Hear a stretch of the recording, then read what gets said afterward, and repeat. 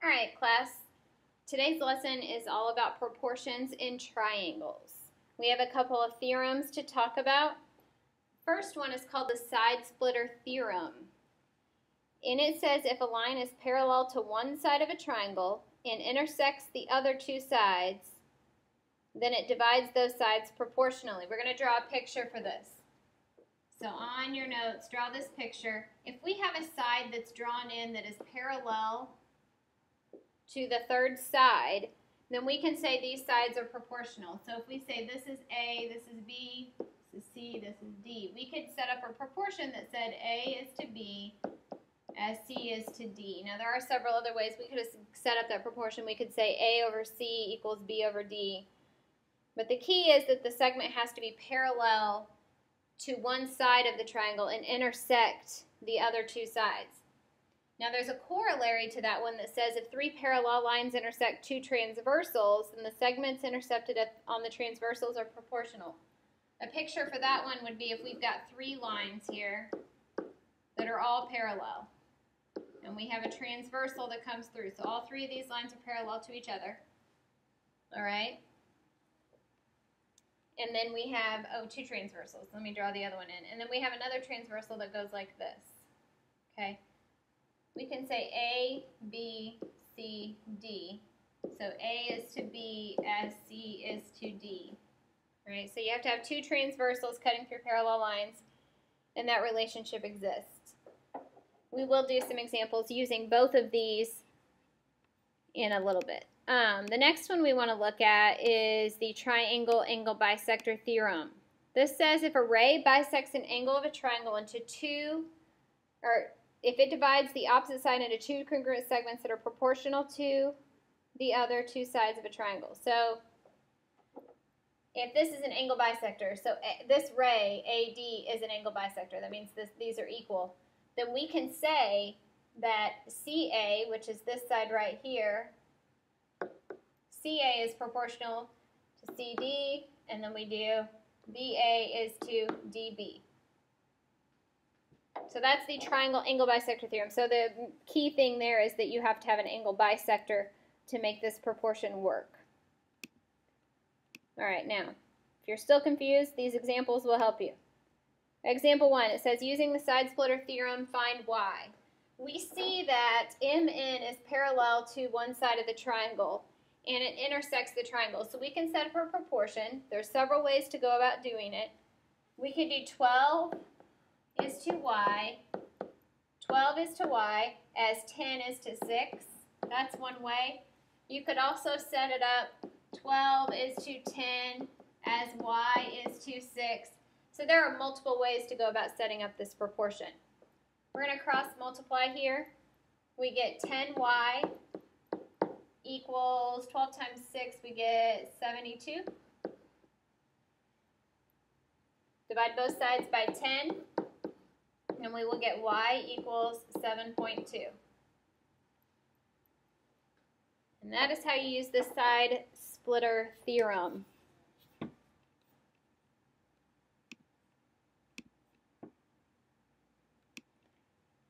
All right, the next one. This was that corollary where I was talking about if you have parallel lines and two transversals. So here are your transversals right here, okay?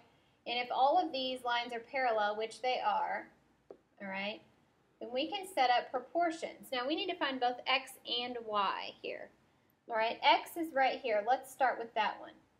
What we do, we're going to ignore the 9 and the y for right now. We're not going to worry about those. We're first going to look at x, 6, 5, and 12 and a half. Those should all be proportional. So we can do 6 is to x as 5 is to 12.5.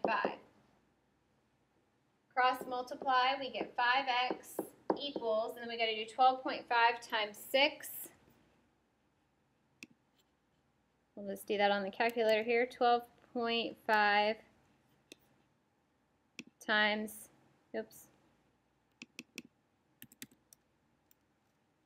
12.5 times 6, so we get 75. Then we divide both sides by 5 that gives us, believe, 13. uh, 15. So x is 15. So we have found x. I'll leave the calculator up there, we might need it. To find y, we can use the 6 and 5 as our proportion. 6 over 5. 6 over 5 is to 9 over y. And again, there's multiple ways to set that up. We cross multiply. We're going to get 6y equals 45. Divide both sides by 6. Okay, so let's do 45 divided by 6. We get 7.5. So y is 7.5. So you just have to set up different proportions to, to use that. All right, that was the side splitter theorem and its corollary. Now we're going to look at the angle bisector theorem. Leave that calculator up, we may need it. All right, um, now these should be written in that these are angle bisectors. Those are angle bisectors. So now there's several ways to set up a proportion. I'll set up a couple for you so you can see all the different ways. We can do 8 is to 5 as x is to 6. Or we could do 8 is to x as 5 is to 6. Okay? Those are just a couple different ways that we can set up those proportions. We'll go ahead and solve the one on the left here. We cross multiply, we get 5x equals 48. Divide both sides by 5. We should get, let's see, 48 divided by 5 will give you 9.6. So that is 9.6. So that's x. All right, let's do one more. Letter B, it says to find the value of y. Okay, again, there's multiple ways to set up this proportion. I think I'll do 3.6 is to y as 5 is to 8. We cross multiply, we get 5y equals 3.6 times 8. Okay, that gives us 28.8. We divide both sides by 5. And we get 5.76. So y is 5.76.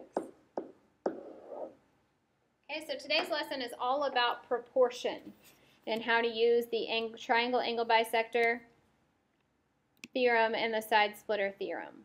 Okay, I'm going to go ahead and give you an assignment on this. You're going to be doing page 400 to 401. Okay, and you're going to do 1 through 16 all and 18 to 24 even.